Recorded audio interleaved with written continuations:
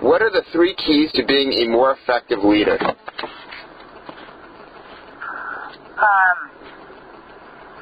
okay, I'm just going to go on the fly here, but the, the, I think the first thing, first thing, probably the most important that um, we've found at Gallup over the years is just um, that a leader really knows his or her own strength. Kind of like just like a carpenter needs to know the tools that are at uh, their disposal. So knowing who you are and how you can in a lot of cases, be even more of who you are would be the first one.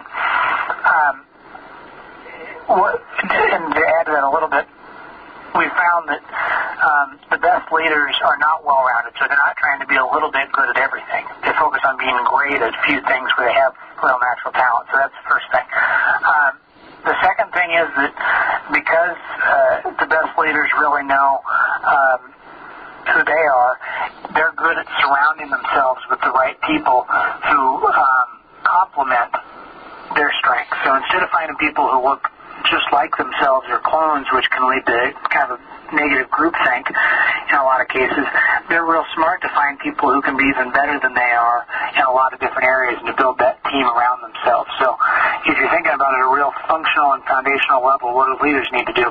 First thing is to make sure they know a lot about what they're good at and what they're not good at. And the second thing would be to um, get the right team around themselves. And the third thing, there, um, in the book Strengths-Based Leadership, we get into some of the more tactical things that followers say they really need from leaders. But um, the, I, will let me just pick one of those four things, that, um, which I think poses the greatest challenges. Leaders really do need to um, not only help followers to have a kind of stability in what's going on in the moment, but to also hold out a lot of hope for the future. So the, I think the third challenge for leaders is to balance those two and help people know that um, things are stable right now, and even if times are tough right now, that, that we'll get through it together, and that there will be a better future tomorrow. So that's probably the kind of a more long-term challenge for leaders. So how can people position themselves so they are in a job that they love? How can they position themselves so they are in a job that they love? Yeah, not just a job that pays the bills and that they hate going to and they're working for the weekend. You know, I, I've been kind of amazed by this. We asked we asked a question on some of our uh, polling. I'm looking at some data from I think it was about uh, 30,000 people we polled recently in the last month or two, and um, only 24% of people in this data set I'm looking at uh, say that they like what they do each day. Ooh. So you've got you've got about three quarters that I mean it's, it gets kind of hard for me to imagine because I get so into what I do on a day-to-day basis, but um, who just don't like what they're doing on a day-to-day basis. So the uh, real foundational level, people need to step back and look at the things where they kind of experience that natural satisfaction and enjoyment and what uh, one psychologist we work with, a real sharp guy named Mihaly Csikszentmihalyi would call flow. Wrote a real good book on flow. That's kind of that optimal state when you're doing something that you're so wrapped up in it, you kind of lose track of time.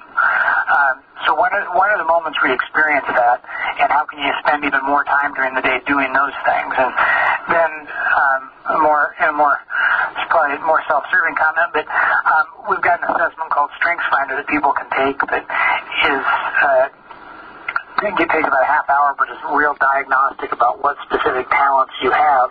And a lot of people have reported that when they go through that and start to connect some of those natural talents to the things that they need to get done in a job, it helps them to be more effective uh, without having to make a big life or career change or having in the totally wrong line of business. Sometimes it's just about small adjustments to what you're doing each day out of all the Gallup studies you've conducted, or Gallup's conducted, what is the most fascinating piece of research that has caught your eye? Oh, that's a really good question. Um, you know, we've got a lot of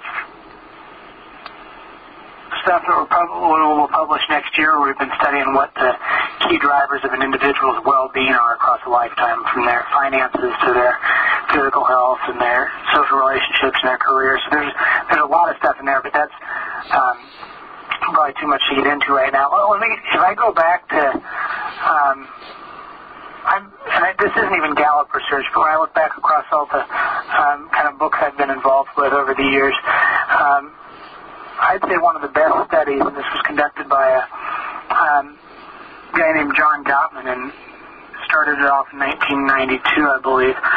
Um, I think it was at the University of Washington at the time. But he was looking at the importance of those little day-to-day interactions that people have and how that impacts long-term outcomes. So if you're just passing someone at work and having a conversation, or uh, you and your spouse are sitting around in the evening talking, how do those little exchanges predict long-term outcomes? And um, to t- it's, the, it's the way Gottman tested this little theory he had that still impresses me as much as any experiment I've followed.